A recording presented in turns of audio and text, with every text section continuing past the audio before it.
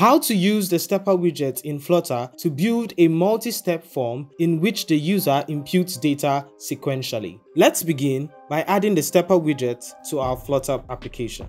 Next, we add the steps, which I have defined using a list of steps. And with that saved, we can see that we have created three steps in our Flutter application. Now, let's add some interactions. First, let's define a variable for the current step in the widget state and initialize it with 0. Still in the state of the widget, we will get two bool values. The first one to check if the current step is the step that is first and the second one to check if the current step is the last step. Now, back in the stepper widget, we can set the current step property to the value in the state. After this, we add the onStep continue to set what happens when the continue button is tapped. Therefore, we first check if the current step is the last step so we can do nothing. Else, we simply want to go to the next step.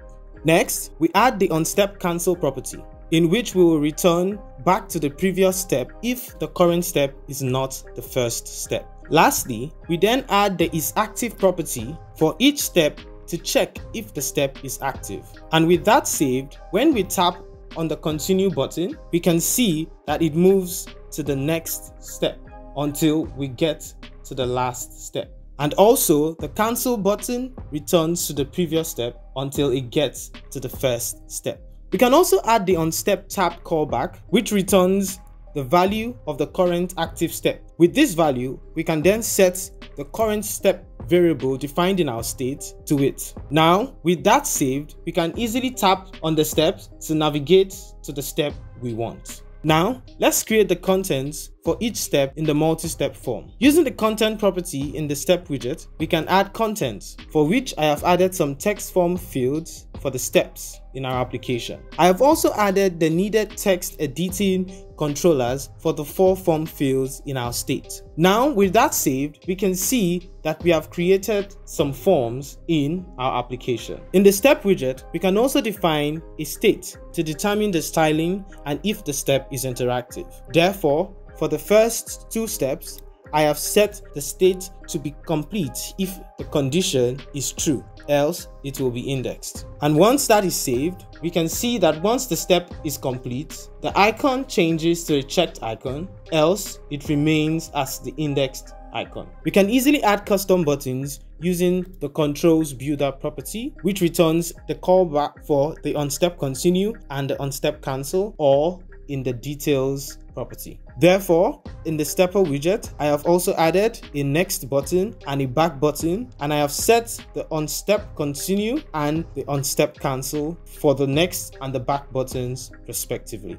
If you like, you can hide the back button on the first step. To do this, all you have to do is to check if you are on the first step so that you can only display the next button, else you can then display the back button. Also, you can add some custom text. In this case, I display the confirm text only on the last step and the next should be displayed otherwise. And with that saved, we can see that we have added custom buttons for our next and back even with our confirm button to our application. Finally, we can deal with submission of form data like sending to a server, saving locally, or displaying another widget. To do this, simply make changes to the onStep continue property. In this case, we set the isComplete flag to true.